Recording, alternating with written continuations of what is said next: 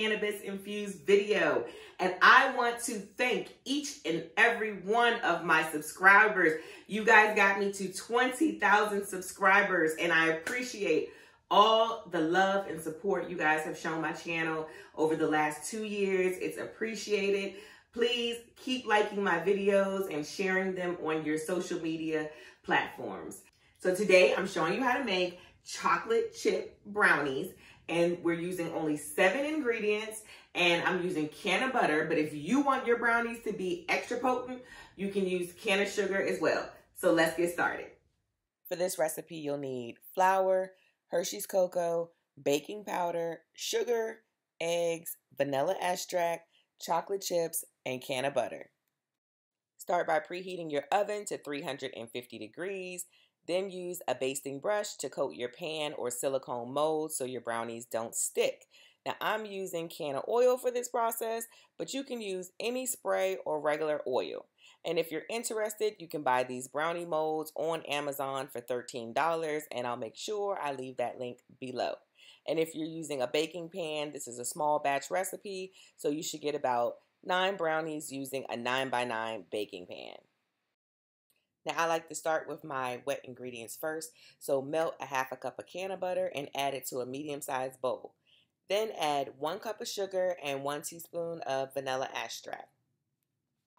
For this recipe, you don't need a hand mixer, so use a whisk and mix until well combined. Your mixture will still be grainy from the sugar, but don't worry, after adding the eggs, the texture will change. And make sure the butter and sugar mixture has cooled and then add two large eggs and mix until well combined. Now this may take two to three minutes of mixing. And if you haven't already, please hit that like button and don't forget to subscribe to my channel. And now I don't do live videos for super chats, but you can still show your support by sending a super thanks if you enjoyed this video. So when you finish mixing in your eggs, the mixture should look like this and then set it aside. Next, in a separate bowl, add a half a cup of flour and a third cup of cocoa.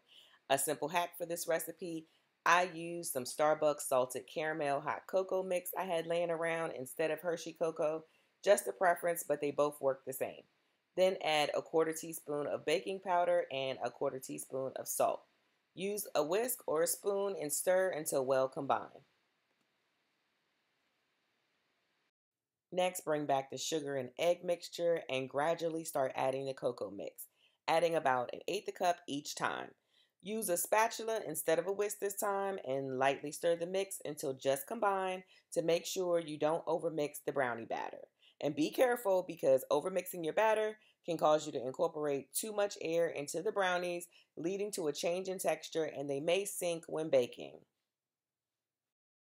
Last but not least, add the half a cup of chocolate chips and use the folding technique until they are combined. Now I use Ghirardelli grand chocolate chips for this recipe, but the wafers are a good option as well. Before adding your batter to the pan or molds, go back over them with the basting brush one more time just to make sure the oil is evenly distributed.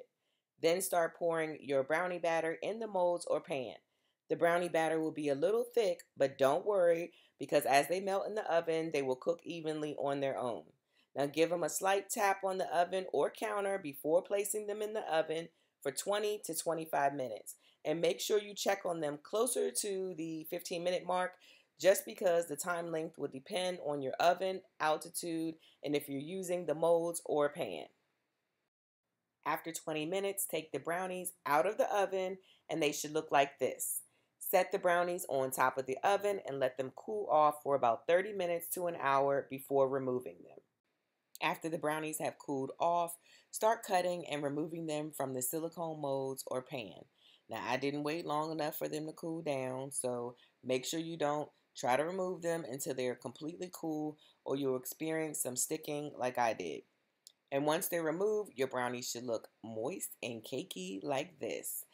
Ooh, I cannot wait to try one of these brownies.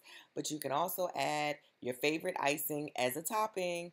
And just that quick and easy, you have cannabis infused homemade brownies. Thank you guys for sticking around and watching this whole video. Like I always tell you, make sure you give this video a thumbs up and you subscribe to my channel. And you can always um, catch me on my other social media uh, platforms on Instagram at Hello High Official, on the Cannabuzz app at Hello High, and on uh, Twitter, Hello High underscore. You can find me on uh, Facebook at Hello High Official. And I'm going to try one of these brownies out before I go because you know I'm greedy. And oh my God, they're still, these brownies are still warm. So let me just go ahead and just break this brownie in half. Oh my gosh. Look at the, do you, can you see the chocolate in there? I hope this comes out good. Can you see the chocolate in that brownie? These brownies are still warm and they're like oozing chocolate. Mm. Oh my God. That is so good. Ooh. Okay. I'll see you guys on the next video.